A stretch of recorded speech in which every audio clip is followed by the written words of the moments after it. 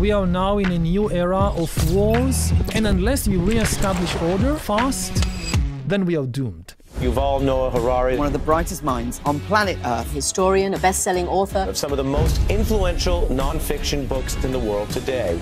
I think we are very near the end of our species because people often spend so much effort trying to gain something without understanding the consequences. For example, we will get to a life where you can live indefinitely, but realizing that you have a chance to live forever.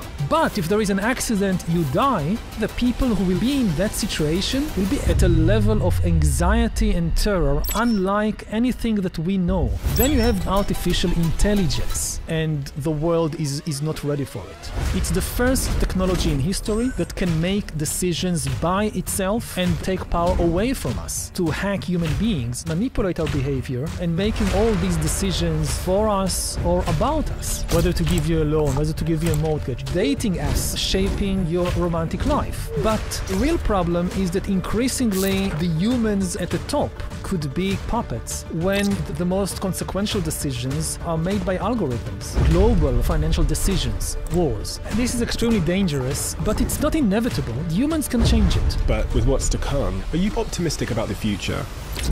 I'm very worried about two things. First of all,